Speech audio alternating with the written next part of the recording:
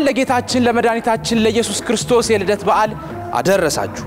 እንዴት አልቀጠልክበትም? ከአንገት በላይ ወደ ጭንቅላት አሁን ስተኛ ምንም የምታወልቀው ነገር የለም። ምንም አይመሰገኑም እንደዚህ አይነት ሰዎች ብዙ ጊዜ አናስታውሳቸውም። ትዝ አይሉም። እውነት ነው። የሚገርም ጎዳና ተኝቼ ሰፈሬ ላይ ጎዳና ተኝቼ ጓደኛዬ ቤቱ የምቾት ያለውን አድርገህ ትቶ አብሮኝ ይተኛል። ጥሪ ሊኖርህ ይገባል። ስሜቱ በተለይ ከምንም በላይ ስሜት ሊኖርህ ይገባል።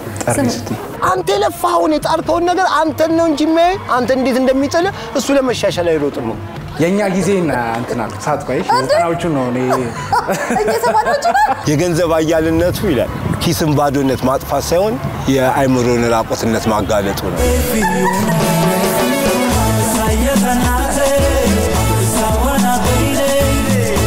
የገና ዕለት የቴሌቪዥናችሁ መስመር ኢቢኤስ ላይ ከሆነ ፓ ይጠብቁ።